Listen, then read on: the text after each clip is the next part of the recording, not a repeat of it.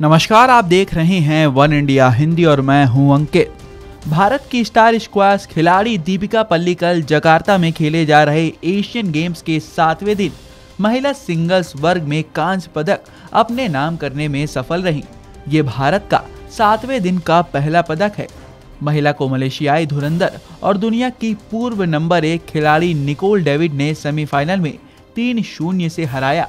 भारतीय खिलाड़ी ने जापान की काबायाशी मिस्की को क्वार्टर फाइनल में तीन शून्य से हराया था। वहीं सेमीफाइनल में हारने वाले दोनों खिलाड़ियों को पदक मिलता है।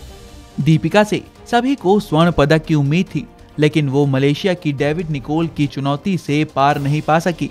एंटियोन में हुए पिछले एशियन गेम्स में भी दीपिका ने कांस्य जीता था। आपको बता दें कि दीपिका के अलावा सौरभ घोषाल और जोशना चिनप्पा भी अपने अपने सिंगल्स स्पर्धाओं के सेमीफाइनल में पहुँचे थे। तो भारत के श्वास में तीन पदक पक्के हैं, जिसमें से एक कांस्य पदक उन्हें मिल गया है। अब देखना ये बाकी होगा कि बचे हुए दो पदक स्वर्ण पदक होते हैं, या कांस्य या सिल्वर।